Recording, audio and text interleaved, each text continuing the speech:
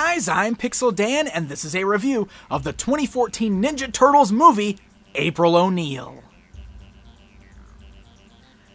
That's right, it's a new version of April, as portrayed by Megan Fox in the upcoming Ninja Turtles movie. Let's go ahead and take a look at her action figure. As you can see, she comes in the standard new Ninja Turtles movie blister card packaging, featuring that bright green colored background and the Ninja Turtles movie logo across the top, as well as images of the four turtles running alongside the box.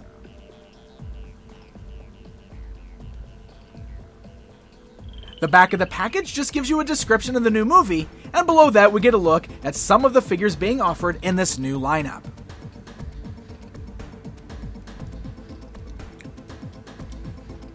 Alright, so let's go ahead and take a look at this new version of April outside of the packaging.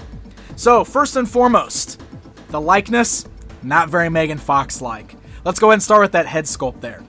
Megan Fox is the new April O'Neil, but this action figure doesn't really look anything like Megan Fox. However, it's still a really nice head sculpt there, and it's got a really decent paint job. She's got the dark brown hair, and it's sculpted nicely to kind of come over her shoulders, as well as hang down over her back there. And then she's got kind of the lighter pink lips, and there's some really nice paintwork in the eyes and everything, so it's a nice head sculpt. It just doesn't really have the actress's likeness.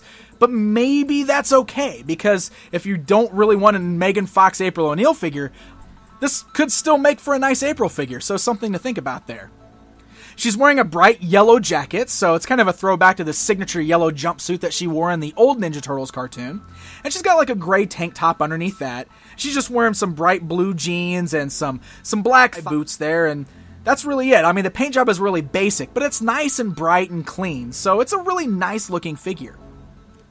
Articulation is pretty limited on her, however. The head can turn left and right, but the rigid sculpt of the hair does hinder the movement just a bit. She does have the nice joints at the arms, so the arms can go all the way outwards, move forwards and backwards, but there's no articulation in the elbows. Uh, she does have swivels at the wrist, which is nice. She does have a waist cut articulation there. She's got the hinge joints at the thigh, so the legs can actually go outwards, move forwards and backwards. But then there's no articulation in the knees or the boots or the feet or anything like that. So you're really not going to get a lot of poses out of her. Her arms are always straight, her legs are always straight. There's just not a lot you can do with her. She does actually include a few different accessories, which are pretty nice. She's got a nice little over the shoulder uh, camera case. It's just done in a solid black plastic, so there's no painted detail or anything, but it's a neat looking little accessory, and you can get it draped over her head and even fit it underneath her hair so that it hangs nicely at her side. And then to go right along with that, she comes with a camera.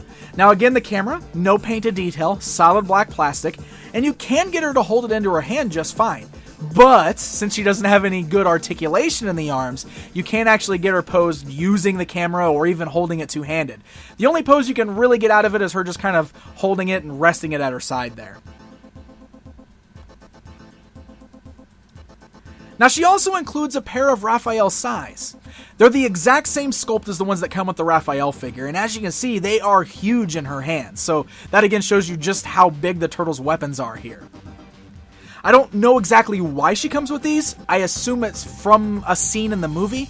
When we get to see the movie, we'll know for sure. But if you don't want to pose these sais with her, you could always give them to the undercover Raphael figure you have who didn't come with them. So that's kind of a neat little thing to know. Now, April stands exactly 5 inches tall, so that means she stands the same height as Raphael and Leonardo and some of the other turtles here. I believe that's inaccurate to the movie, because from everything I've seen in the trailers and everything, it looks like the turtles are really big this time around, so I think they should be a little bit bigger than her. But I'm gonna say that I actually like the size here. The size that she looks compared to the turtles and the action figures, that's preferable to me, so I'm totally okay with this. Alright, guys, it's comparison time. Here's a look at the new movie April standing alongside the Nickelodeon April. And here she is alongside one of her past movie versions from the TMNT CGI film. And since we've had so many versions of April in the past, here she is alongside many of them from the various Ninja Turtles toy lines. So there you go, guys. There's a look at the brand new movie April O'Neil figure. So, Actress likeness is not there. She doesn't look like Megan Fox. She's also very limited in articulation, so you're not going to get a lot of poses out of her. It's very similar to what we've seen with a lot of past incarnations of April in figure form.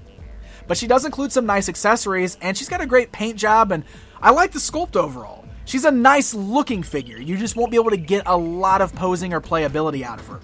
The fact that she doesn't look like Megan Fox could be a good thing or a bad thing, because if you don't like the fact that Megan Fox is April, then this is probably perfect for you.